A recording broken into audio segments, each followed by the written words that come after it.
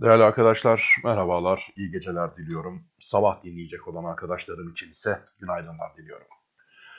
Evet sevgili arkadaşlar, gündemimiz seçim, S-400-ABD ilişkileri konusu ve genel olarak ekonomik anlamda içinde bulunduğumuz kriz diyelim. Ee, bugün basına yansıyan bir haber vardı, gerçekten üzücü bir haber. Bloomberg'in yapmış olduğu Dünya Sefalet Endeksinde 62 ülke içerisinde en kötü durumda olan, en büyük sefaleti yaşayan ülkeler sıralamasında ilk dördün içerisinde olmamız, dördüncü sırada olmamız zannediyorum ki içinde bulunduğumuz ekonomik koşulları ve genel anlamda vatandaşın yaşamakta olduğu sıkıntıları yansıtmakta. Artık seçim olayını bir köşeye bırakıp geçim olayıyla alakadar olmanın zamanı geldi diye düşünüyorum. Zira seçimler sebebiyle son derece ciddi bir oyalanma yaşandı, zaman kaybı yaşandı. Arkadaşlar seçimler demiş iken malumunuz üzere e, seçim sonuçları ile ilgili olarak birinci aşama tamamlandı. Sayın Ekrem İmamoğlu'na mazbatası teslim edildi. Ancak tam kanunsuzluk iddiası ve itirazıyla İstanbul seçimlerinin yenilenmesi hususunda bir itiraz yapıldı ve YSK şimdi bu itirazı karara bağlayacak. Hepimizin ve piyasalarında gözü gelecek olan bu nihai kararda. İstanbul seçimleri yenilenecek mi yoksa bu haliyle tescil mi edilecek? Ve arkadaşlar en önemli soru ise seçimler süreciyle bu kararın beklendiği süreçte piyasaların ve özellikle dolar TL'nin ciddi bir dalgalanma yaşadığını biliyoruz ve pek tabii ki bu karar ne zaman gelir, ne zaman açıklanır, ne zaman bu belirsizlik biter sorusu gündemde kalmaya devam ediyor. Değerli arkadaşlar YSK'nın böyle bir itiraz hususunda karar verebilmek için önünde 3 aylık bir süre bulunuyor. 3 ay içerisinde kendisine itirazın yapıldığı tarihten itibaren 3 aylık süre içerisinde bu hususu, bu itirazı karara bağlamak ve neticelendirmek mecburiyeti bulunuyor. Ve bu süre içerisinde tabii ki 3 gün içerisinde de bu kararı verebilir. Bu ayrı bir mevzu. Ancak öncelikle kendisine teslim edilmiş olan itiraz belgeleri ve delillerini sisteme tek tek taratması gerekiyor. Şu anda bu aşama gerçekleşiyor. 3 bavul, 3 valiz e, delil e, gönderildiğini biliyoruz ve basından ve ekranlardan da bunu izledik. Bu evrakların taratılması aşamasından sonra bu evraklar incelenmeye başlanacak. Ve bu inceleme aşamasında ise YSK dilerse belli kurum ve kuruluşlardan, devletin çeşitli kurum ve kuruluşlarda, kuruluşlarından şaibe gördüğü hususlarla ilgili olarak bilgi talep edebiliyor. Şu şu şu hususların araştırılmasını, tetkik edilmesini istiyorum diyebiliyor ve bu kurum ve kuruluşlar ise en fazla 7 gün içerisinde YSK tarafından kendilerinden talep edilen bilgiyi vermek mecburiyetinde bulunuyorlar. Ve yine YSK gerek görürse Danıştay ve Yargıtay'ın çeşitli üyelerini bu konularda araştırma yapmak ve inceleme yapmak hususunda görevlendirebiliyor. Yani değerli dostlar süreç ve prosedür e, çok da kısa bir süre içerisinde sonuçlanacakmış gibi görünmemekte. Önümüzde zorunlu olarak bulunan bir 3 aylık takvim var ama bu sürenin ne kadar süre içerisinde, ne kadar bir zaman dilimi içerisinde karara bağlanacağı hususunda herhangi bir netlik bulunmamakta. En yakın örnek olarak 2014 yılında Yalova'da yapılan belediye başkanlığı seçiminde AKP e, adayının bir oy farkla seçimi kazanmasını mütakip yapılan bir itiraz olmuştu ve bu itiraz CHP tarafından gerçekleştirilmişti ve e, YSK 14 gün içerisinde bir yanıt verebilmişti. Seçimlerin yenilenmesine e, hususunda bir karar vermişti ve yenileme sonucunda 6 oy farkla CHP adayı belediye başkanlığı hakkını elde etmişti. En yakın örnek olarak böyle bir durum bulunuyor. Tabii ki Yalova e, ile İstanbul'u mukayese etmek mümkün değil ama orada 14 günde bir sonuç çıktıysa ve valizler dolusu incelenmesi gereken evraklar var ise zannediyorum ki e, İstanbul seçimlerinin netleşmesi hususu biraz uzun bir takvim alacak. Ancak bir diğer yandan da e, belirlenmiş olan bir 2 Haziran takvimi söz konusu. 2 Haziran'da seçimlerin yenilenmesi hususunda bir takvim e, ifade edildi veya gündeme getirildi. Ama 2 Haziran tarihine yetişebilmesi için YSK'nın çok kısa süre içerisinde bir karar vermesi gerekiyor. Ancak böyle bir mecburiyetinin bulunmadığını ve 2 Haziran takviminin ise kesin ve net bir yenileme e, takvimi olmayacağını da ifade etmek gerekiyor.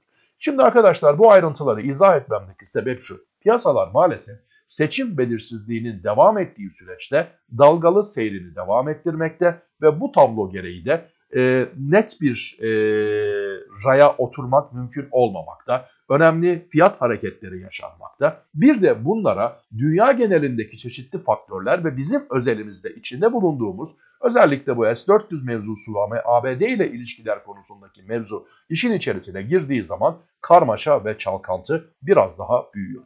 Ve özetle dolar TL'deki yukarı seyir de e, her geçen gün daha yüksek dip noktaları ve daha yüksek direnç noktaları oluşturmak şartıyla beyaz ve sarı eğrilerimizin e, tanımlamış olduğu siz destek ve direnç noktalarını sizlere her gün daha yüksek seviyeler olarak vermekteyim. Buradan da zannediyorum fark etmiş bulunuyorsunuz. Evet arkadaşlar dolar TL'yi etkileyen bir diğer faktör ise bugün itibariyle 97 seviyesinin üzerine doğru bir atak yapmış olan dolar endeksi açısından görmekteyiz. Dolar endeksi 97 seviyesinin üzerinde bulunuyor. 97 150'ler civarında bulunuyor şu an itibariyle. Japon yeninin dolar karşısındaki değer kaybını 112 seviyelerine ulaşması itibariyle Euro doların ise 1.12.50'nin dahi üzerinde kalamayarak bu seviyenin aşağısındaki seyriyle de görmüş bulunmaktayız. O halde doların, dolar TL'nin yukarı yönlü eğilimini destekleyen faktörler içerisinde dünya genelinde doların değer kazanımını da ifade etmemiz e, gerekiyor. Şu an itibariyle arkadaşlar dolar TL'nin saatlerimiz şu an 01.05 e, sularını göstermekte. 5.81-28 e, civarında olduğunu görüyoruz. Gece 24 öncesinde 5.80'in aşağısına yönelik sarkmalar yaşandı. E, bu tablo genel olarak son günlerde fark ediyorsunuzdur gece 24'e yaklaşırken bir aşağı eğilim oluşuyor ama 24'ün hemen akabinde yeni günün başlamasıyla birlikte e, dolarda tekrardan bir yukarı hareket e, eğilimi yaşanmakta. Bu özellikle forex piyasalarında işlem yapmakta olanların gecelik faiz yememek adına, e, swap faizinden etkilenmemek adına pozisyon kapatmaları ve yeni günün başlamasıyla birlikte yeniden pozisyon almalarından kaynaklanan bir durum e, olduğunu ifade edebilirim.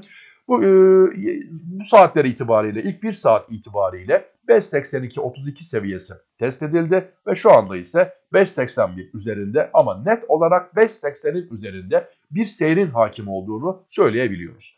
Evet sevgili arkadaşlar e, bugün itibariyle 5 e, 85 seviyesinin 5.85-14 seviyesinin test edilmesiyle 22 Mart tarihinde görmüş olduğumuz 5.84-50'nin de üzeri test edilmiş durumda. Akşam üzeri saatlerinde sizlere aktarmış olduğum bir analizimde 5.85 direnci aşılabilir mi şeklinde bir başlık kullanmıştım. Zira görülen tablo şu ki 5.85 direncinin aşılabilme ihtimali her geçen an artıyor. Biz bu ihtimalin arttığını nereden anlıyoruz? Sarı ve beyaz çizgilerimizin sınırlamış olduğu yükselen kanalımızın hemen hemen orta seviyelerinden geçmekte olan şu yeşil kesik çizgimiz bizim için bir ara direnç konumunda. Şayet bu yeşil çizginin üzerinde kalabilir isek bu durumda yukarıdaki sarı çizgiyi, sarı direnç noktasını test etme olasılığımız ve burayı aşmak adına bir gayretin oluşma aşamasının mümkün olabileceğini teknik ihtimal olarak söyleyebiliyoruz. Arkadaşlar şu anda yeşil eğrimiz, yeşil çizgimiz 5.79-39 seviyesini göstermekte ve bu seviyenin üzerinde kalındıkça sarı çizginin belirlemiş olduğu 5.86-55 seviyesinin test edilme, buraların buraya kadar bir yükselişin yaşanma olasılığı gittikçe artıyor diyebiliyoruz. Zira 5.84-50 e, son dönemin bir e, zirve noktasıydı. Bugün 5.85-12 görüldü. Yarın veya önümüzdeki kısa süre içerisinde bu çizginin, bu eğrinin, bu direncin test edilmesi ve hatta üzerine bir sıçrama yaşanma ihtimali mümkün görülmekte. Sıçrama ifadesini niçin kullanıyorum arkadaşlar?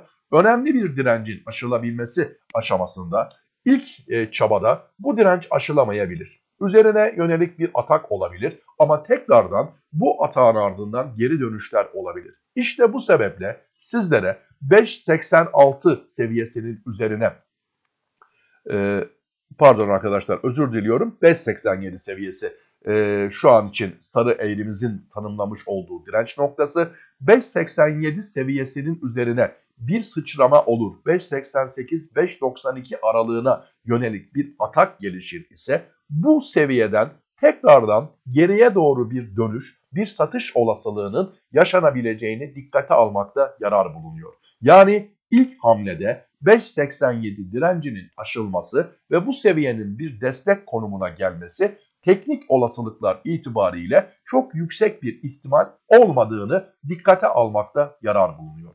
Arkadaşlar şu anda biz 5.71.91 seviyesine yükselmiş olan bir destek noktasının ve 5.87-28 noktasına yükselmiş olan bir direnç noktasının tanımlamış olduğu kanal içerisinde hareket etmekteyiz. Yaşanabilecek geri çekilmelerde özellikle takip etmemiz gereken seviye 5.87 pardon 5.71.91 yuvarlak olarak 5.72 diyelim. Bu seviyeye kadar geri çekilmeleri normal karşılayabiliriz ama e, direnç noktası olarak ise 5.87-28 veya 5.87-5.88 bölgesini ise önemli bir direnç olarak algılayıp bu seviyenin üzerine yönelik ataklarda geri dönüşlerde şayet 5.87 seviyesi destek olarak çalışmıyor ise bu direncin aşıldığını ve yönün daha da ileri seviyelere doğru gidebileceği hususunda kısa vade adına tereddütle bakmak gerekiyor. Kısa vade ifadesini özellikle arkadaşlar vurguluyorum. Yapmış olduğumuz analizler günlük analizlerdir. Bugünden yarına birkaç günlük süre içerisindeki olasılıkları ifade etmekte. Uzun vadeye baktığımız zaman çok daha farklı seviyeler söz konusudur. Ama biliyorum ki herkes anlık bir şekilde dolar TL'yi izlediği için uzun vadeden şu anda çok e, ayrıntılı bir şekilde bahsetmeye gerek yok. Hafta sonu analizlerinde önümüzdeki uzun vadede hangi seviyelerin gündemde olabileceğini e, vurgularım. Zaten geçtiğimiz hafta bu hususla ilgili detaylı bilgiler vermiştim. Evet sevgili arkadaşlar yarın için takip etmemiz gereken pivot seviyeleri itibariyle 5.79-74 seviyesi üzerinde kalındıkça yönümüzün yukarı olduğu hususunu düşünebiliriz. Bu seviye bir denge noktasıdır ve bu seviyenin üzerinde kalınması ilk etapta 5.85-72 seviyesine kadar bir yükseliş olasılığını gündeme getirebilir. Bu seviyenin aşılması 5.86'nın üzerinde kalınması ve özellikle şu sarı hattımızın tanımlamış olduğu e, 5.87 seviyesinin üzerinde kalınan en az 2 saatlik bir süreç yaşanabilir ise bu durumda 5.91 seviyesine doğru hareketliliğin e, devam edebileceğini ifade etmek mümkün olabilir. Tabii ki arkadaşlar vermiş olduğumuz bu değerler çok önemli, çok kritik bir haberin düşmesi durumunda çok daha farklı seviyeler söz konusu olabilir. Ama her zaman sizlere söylediğim şudur, haberle e, yaşanan yükselişlere veya geri çekilmelere şüpheyle bakılmalı. O haberin etkisi 1 saat, 1,5 saat, yarım saat gibi kısa süreler sonrasında piyasanın tekrar bir denge noktasına oluştuğunu, yükselişlerde o yükselişin peşine takılmak veya geri çekilmelerde panik işlemler yapmanın son derece önemli yanılgılara yol açabileceğini bir kere daha hatırlatmış olayım. O halde arkadaşlar yarın için takip etmemiz gereken seviye veya bugün diyelim artık 5.79-75 veya yuvarlak olarak 5.80, 5.80 üzerinde kalabiliyor isek 5.85-86 ardından buradaki sarı hattımızın tanımlamış olduğu özellikle 5.87-28 seviyesi çok önemli direnç noktaları olarak takip edilmeli. Yukarı sıçramalarda ise geri dönüşler olduğunda 5.87'nin destek olup olamayacağı hususu yakından izlenmeli. Ee, arkadaşlar 5.80 aşağısında kaldığımız e, durumda ise 5.70 4-5.75 seviyesine kadar bir geri çekilme olasılığının söz konusu olduğunu pivot sistem hesaplıyor. 5.80 seviyesi direnç konumuna gelecek şekilde bir görüntü oluşur ise geri çekilmenin 5.74-5.75 bölgesine kadar devam etme olasılığını ifade edebiliriz. Ana destek noktamız ise 5.72. Bir de arkadaşlar e, Viop bazında konuya bakalım isterseniz. E, Nisan vade Viop işlemlerinde yarın için takip edilmesi gereken seviyeleri size ifade etmeye çalışayım. Grafiğimin açılmasını bekliyorum. Evet. Değerli arkadaşlar Nisan vade itibariyle e, bugün takip edilmesi gereken önemli seviyelerimiz Nisan vade 5.81.95 ile günü tamamladı ve pivot seviyemiz 5.81.22. E, bu seviyenin üzerinde bir kapanış gerçekleşmiş olması nedeniyle ve şu anki tablo itibariyle 5.81'ler civarındaki bir dolar TL seyrinin mevcut olduğunu ve bu seyrin sabah saatlerine kadar da devam etmesi durumunda yarına yine yukarı yönlü bir atakla başlama şansımız, o güne e, diyeyim, e, yukarı yönlü bir atak ile başlama olasılığımız oldukça yüksek görünmekte. 5.81-22 seviyesi veya kısaca 5.81 seviyesi günün pivot seviyesi durumundadır. Bu seviye direnç konumuna gelir aşağısında bir seyir olursa 5.77-50 seviyesi destek olarak izlenebilir. Ama bu seviyenin üzerinde ise 5.86-45 bu 5.86-45 seviyesinin de aşılması ve destek konumuna gelmesi durumunda ise 5.90 seviyesi bugün için takip edilecek önemli virajlar olarak, önemli seviyeler olarak dikkate alınmalı veya yukarı yönlü ataklarda zorlanma yaşanabilecek olan seviyeler aşılması durumunda ise bir sonraki nokta olarak dikkat edilecek olan seviyeler 5.86.45 ve 5.90 olarak görülmekte. 5.81 seviyesini ise destek noktası olarak veya önemli bir referans noktası olarak gün içerisinde takip etmekte yarar bulunuyor.